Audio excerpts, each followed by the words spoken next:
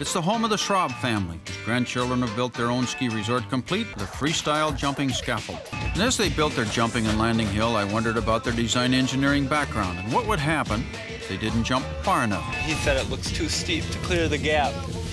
so I've had serious injuries in my life.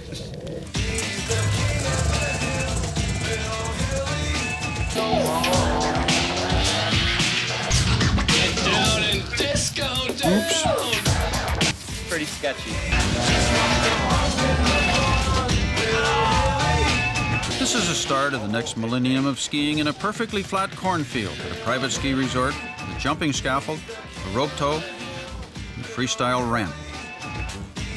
They're already sponsored by the John Deere Tractor Company, the Juneau Dairy Queen, Wisconsin Orthopedic Association, They're turning their energy into good use, the way it looks to me.